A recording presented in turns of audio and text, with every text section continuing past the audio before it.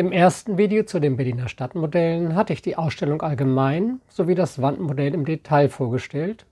Im zweiten Video das Ostberlin-Modell. Nun geht es also um das zentrale Modell, das all die Veränderungen im Zentrum der Stadt seit 1990 so plastisch aufzeigt.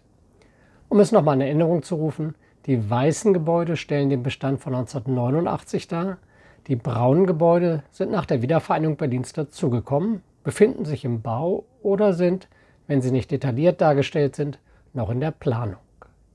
Wie bei den ersten beiden Videos habe ich auch hier den Kommentar live vor Ort eingesprochen. Gut, dann der Schwenk rüber zu dem Modell, was ich am spannendsten finde, weil man eben hier am besten die ganzen Veränderungen der letzten Jahre erkennen kann. Wir sind wieder in diesem Gebäude mit der Markierung.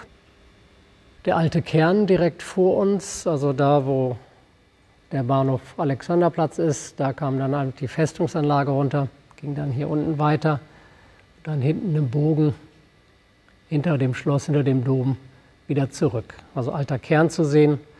Nochmal die Marienkirche, die ist natürlich weiß, das stand alles schon 1989, 90. Aber auch hier im engeren Bereich hat man schon einiges gebaut. Und hier, ich hatte ja in einem Video das Klosterviertel vorgestellt, kann man gut erkennen, was da jetzt dichter bebaut werden soll, so rund um die Ruine der alten Klosterkirche, die man hier sehen kann. Und hier der Überrest der alten Stadtmauer neben der Parochialkirche. Gut, aber auf den Bereich, wie gesagt, bin ich in einem Video genauer eingegangen. Fernsehturm natürlich zu sehen, die Marienkirche, Berliner Dom, das Humboldt-Forum, und dann der Alexanderplatz, der soll sich oder verändert sich gerade auch sehr schnell. Also einige Hochhäuser sind im Bau, noch nicht alle, die man hier sehen kann, die geplant und genehmigt sind. Aber es wird demnächst weitere Hochhäuser im Stadtkern Berlins zu sehen geben. Gerade so bei der Galeria Kaufhof ist man schon intensiv dabei. Gut, schwenken hier so ein bisschen rüber. Dieses Gebiet, ehemaliger Grenzbereich des Engelsbecken, ist vor einiger Zeit dicht bebaut worden mit vor allen Dingen Wohnbebauung. Und hier sieht man die Mauermarkierung, das ist so dieses Kupferband, was sich hier so zickzackartig durchzieht. Also gerade so im Grenzbereich gab es viele freie Flächen, die man dann gut bebauen konnte. Also auch hier sehr stark, sehr viel gebaut worden. Geht dann hier rüber, da hat man den Axel Springer Verlag. Der hat sein Gebäude Ende der 50er bewusst direkt an die Grenze gesetzt, die dahinter verlief, um nach Osten hin die freie Presse, die freie Meinung zu demonstrieren. Und das Gebäude weit, weithin sichtbar noch aus Berlin, darum hat man dann diese Hochhausblöcke als Gegenstück auf Ostberliner Seite errichtet, um den Blick zu versperren und um zu zeigen, wir können auch so bauen. Äh, Springer hat gerade neu gebaut. Er wollte unbedingt auf beiden Seiten der Mauer ein Gebäude haben. Das war schon der Traum früher von Axel Springer gewesen, auch auf der Ostseite bauen zu können. Das ist so ein neues, modernes Bürogebäude. Sieht architektonisch, wenn man davor steht, ein bisschen anders aus, als man das hier im Modell sieht. Also auch farblich.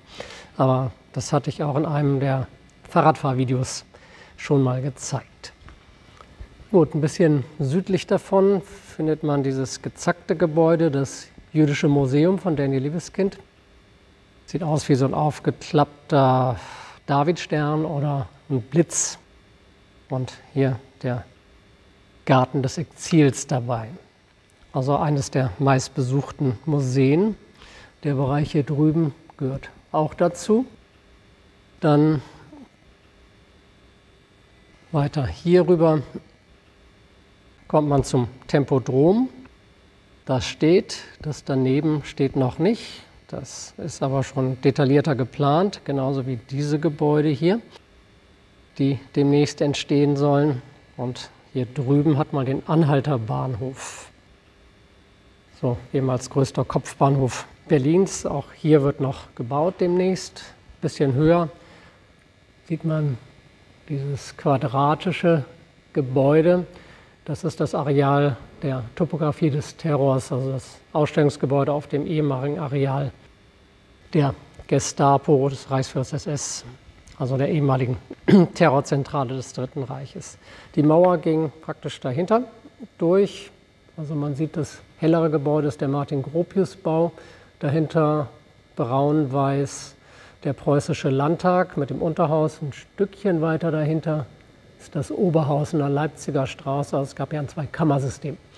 Gut, dann sehr markant hier Potsdamer Platz und Leipziger Platz. Also das Achteck, das Oktogon ist der Leipziger Platz.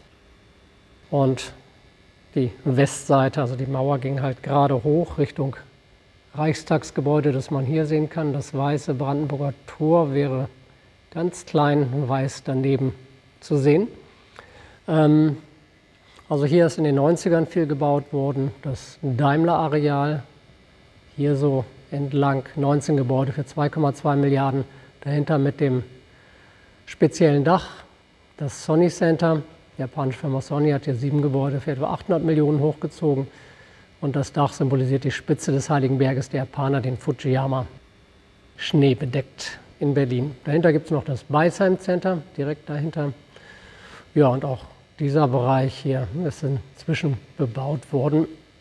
Also ganze Bereich hier knapp 10 Milliarden hat man da verbaut. Tiergartenbereich so ein bisschen links rüber.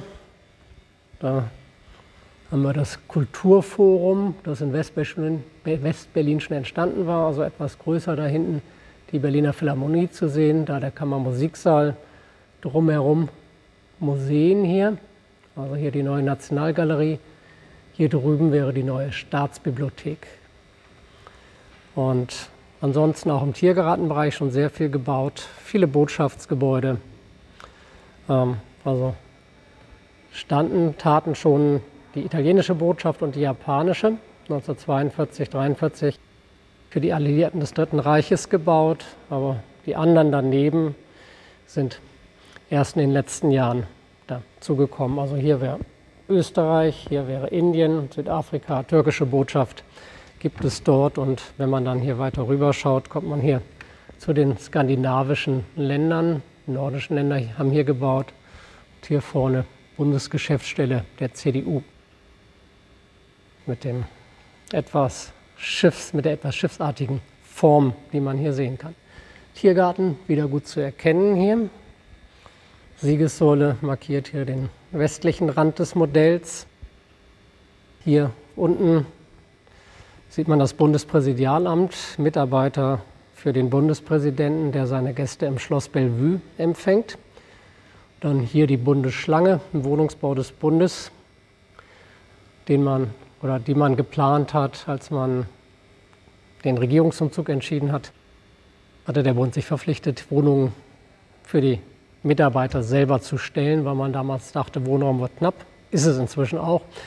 Zwischenzeitlich mal nicht. Darum sind auch gar nicht so viele Abgeordnete da eingezogen, weil die auch gar nicht zusammen wohnen wollten.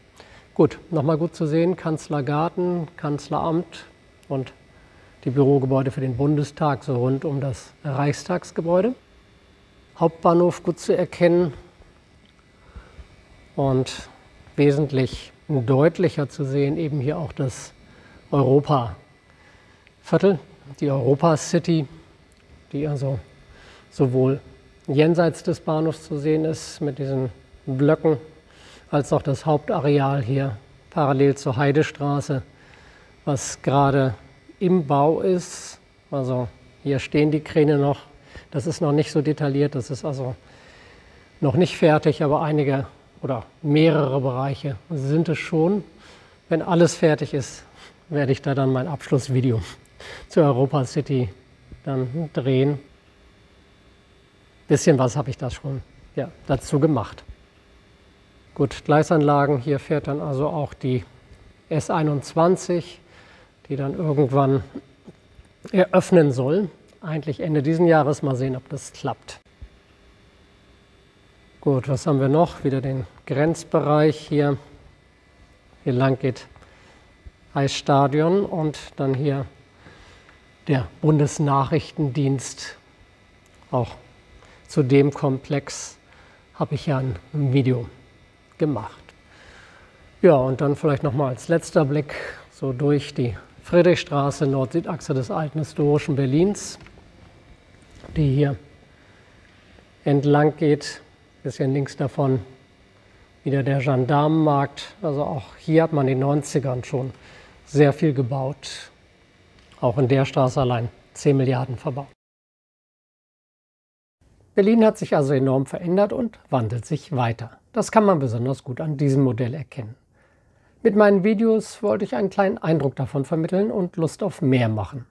Lust darauf, sich die Ausstellung selber einmal anzuschauen und natürlich darauf, Berlin zu erkunden und zu erleben und die Ergebnisse vor Ort zu betrachten. Wer möchte, kann gerne in den Kommentar schreiben, ob mir das gelungen ist und was du dir als erstes anschauen würdest. Ich wünsche viel Spaß dabei und alles Gute.